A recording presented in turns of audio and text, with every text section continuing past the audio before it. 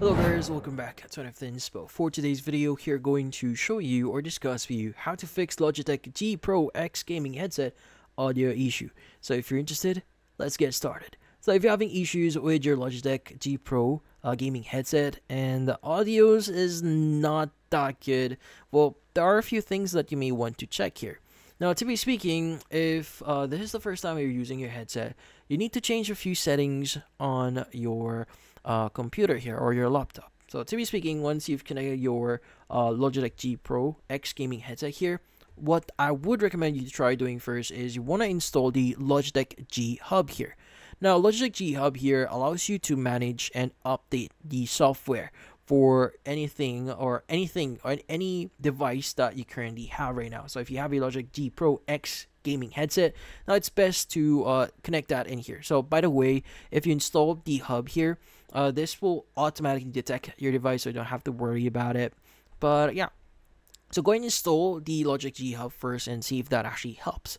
Now, if that doesn't work, the next thing you want to do is you want to also check your audio settings. So sometimes the issue itself might be from uh, your um, settings that you've set in here in Windows if you're using Windows PC. So to be speaking, you want to go to the bottom right here. You want to look for the speakers or the audio option here. You want to go ahead and basically click on the gear icon here to open up the settings for it. Now you want to go to sound here, open it up, and you want to go to speakers and you want to make sure that you set the correct audio here. So if you, again, you want to go and just select the Logitech G Pro X uh, headset in here so that you are using that whenever uh, you're listening to something. So yeah.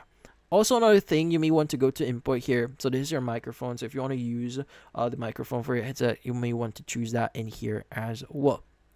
Now, also we have the volume mixer here, so you may want to uh, decrease or increase uh, the uh, volume for it, and also you can also check uh, or choose the output and info device here. So make sure again you want to choose your headset in here as well. Now, uh, from here, uh, you want to go ahead and basically change your settings but if not another thing actually works here. You could actually choose the option here for troubleshoot common sound problems.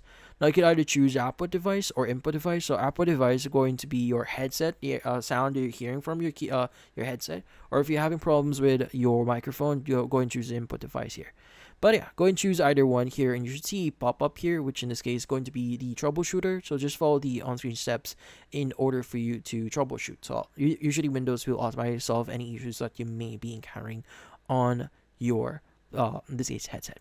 So if none of this actually works, now the next and best thing that you could try doing here is to reach out to Logitech support.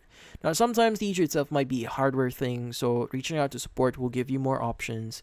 Now if you just recently bought this headset and you're not sure why it's uh, having it's not working properly, it's again it might be a hardware problem here. So reaching out to support will give you the option to either get a replacement or even like uh, have a technician check your headset. But in this case, that's about it. Hopefully this video was able to help you like and subscribe to NF Inspo. Thank you for watching.